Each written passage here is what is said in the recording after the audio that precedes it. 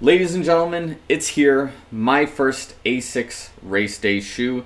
It's the ASICS Metaspeed Sky Plus. Let's talk about my first impressions with this shoe.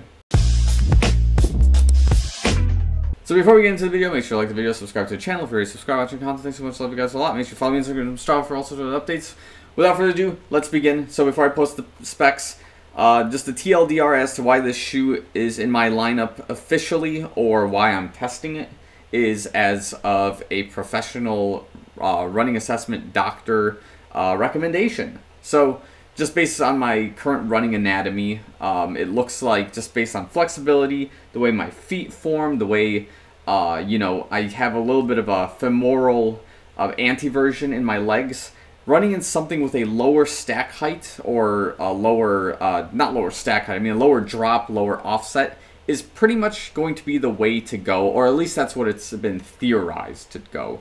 It's not to say I didn't run in something like a Vaporfly Next Percent or a Tempo Next Percent, which have like 8 millimeter offset and 10 uh, millimeter respectively, but like as we get into the specs here, you'll see this thing rides low, kind of actually I think exactly like an Alphafly 1. So we'll get into it. Specs right up here, as you can see, and if you know the Alphafly specs, those are almost exactly the same, but there's going to be a few changes as we kind of get into it. I don't mean to compare it to the Alphafly immediately, but yeah, that's kind of what's going on. So when we talk about first impressions, I have maybe maximum about 10 to 11 miles on the shoes as they stand which is kind of about where I wanted to do. I don't want to like do a 5K and say, this is a marathon race day shoe, because that's crazy.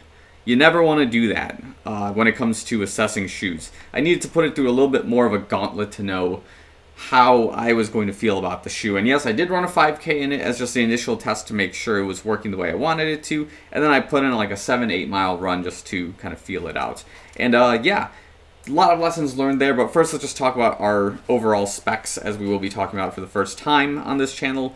We do have, again, that 39 millimeter heel and 34 millimeter forefoot, giving us that 5 millimeter offset overall in the shoe. The shoe in my size, about 8.5, weighs about like 7.1 ounces. That is approximately 200 grams on average, give or take variations in manufacturing and things like that, right? Um, other things to note here is that we do have this like nylon mesh upper that in my opinion resembles a lot and pays homage to the Nike Vaporfly Next Percent 1 in terms of this upper looking like pretty much exactly like that shoe just with its um, architectural changes based on the geometry of the shoe, right? But I do like this in terms of like when it comes to rain and like different conditions, uh, the shoe will be able to navigate those circumstances accordingly. So that's just something I liked about the Vaporfly Next Percent 1. I'm seeing it in the Metaspeed Sky Plus. We're going to be interested to see if it goes kind of the same way. Other things to note here is that we do have this FF Turbo uh, foam running pretty much the entire duration of the shoe. And immediate things to note about this shoe as you kind of look at it at first glance is if you just like look at a lot of other racing shoes, um, typically the shoes will have like this high heel and then kind of trim down as you go. Asics obviously knows what they were doing here. They went with like this like thin heel and then the major stack of the foam is like right here and it goes wide in your midfoot area and it also goes pretty high in this midfoot area too. And then we have a bit of a curve or like an archway kind of going up on this shoe. And this is where, you know, the doctors during my run assessment, uh, I, I see where they were going with this, right? Because to establish in, I guess, the average runner's day to day running, the, to establish highest efficiency in your running, you should be trying to aim for a high cadence midfoot type of strike, okay? So, what ASICS created here is a shoe that isn't necessarily a beginner's marathon shoe, okay? This shoe, in my particular case, is almost a training piece to get my marathon form into the most efficient peak uh, shape possible through essentially not forcing me to ride the midfoot, but kind of discouraging this forefoot strike, discouraging a heel strike in a way, because the return, I this is totally intentional, this is not a con. I think the return from forefoot striking in this shoe is dull and not nearly as profound as something like the Vaporfly Next Percent, the Alpha Fly, uh, the Adios Pro 3 from Adidas. Like this shoe right here just does not have that strike compared to if you were to strike the midfoot area of this shoe, and I think that's the point. And also, it's worth noting that I think the plate is also like more profound in this particular area of the shoe. I believe it runs the duration of this shoe. I'll have to like triple check that. I'll make a comment here below, but like, yeah, I'm pretty sure that's what's going on here. Um, following pretty much the same principles of the daily race day shoe that exists on the market. Um, and yeah, basically the point here is that if your form is in really good shape for the marathon, half marathon, I think you're going to have a really good time and a really good ride with this shoe as it stands right now. The thing, again, worth noting is that this doesn't feel like some entry level marathon shoe where you just like put it on and you just go and if you're heel striking it's forgiving or anything like that. I don't really think it is. This is a firm ride shoe. Like there isn't a whole lot of foam in the heel area or your forefoot area which kind of gives you that forgiveness is the shoe stable? Totally. That's, I think, a strong feature of the shoe if you have that midfoot strike. Like, look how wide this thing is, right? That's like about, you know, ish so wide kind of going in this area. And this almost reminds me of like the Alpha Fly. But again, with the Alpha Fly, you have those air pods which kind of sink both ways. So the stability sort of decreases. Where here, it's just flat right across, you know, no extra moving parts in your uh, you know, out, in your outsole area of the shoe here. So I think the way the shoe stands is, uh, I'll actually kind of run into this uh, as our next transition point. What do I think when running with the shoe? Like, there is a mental note while I'm running in this thing to increase my uh, steps per minute. There is a, a mental note to ride more midfoot if I want that return in this particular shoe.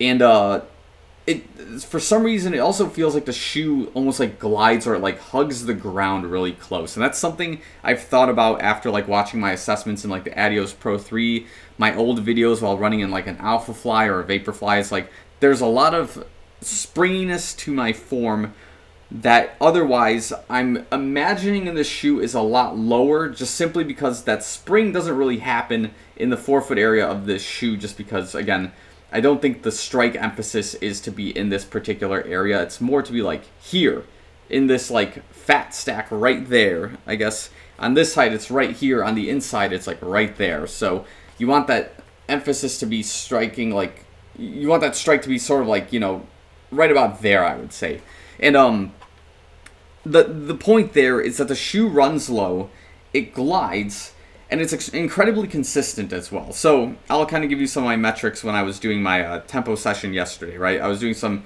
hill runs and things like that for about seven, eight miles, and like the pace on average, at just like, you know, just going at what felt okay, not too easy, but also not too hard. I was running at about 710 pace, like on average. So the shoe is incredibly consistent when you hold yourself back a little bit, but also kind of give it a little bit of juice, and then you keep the form where you need it to. So based on just like my experience with the limited time I've had with the shoe right now, like it's going to be incredibly consistent in my longer runs. Would I use it necessarily in like something like a 5 or 10k? I think that's to be seen.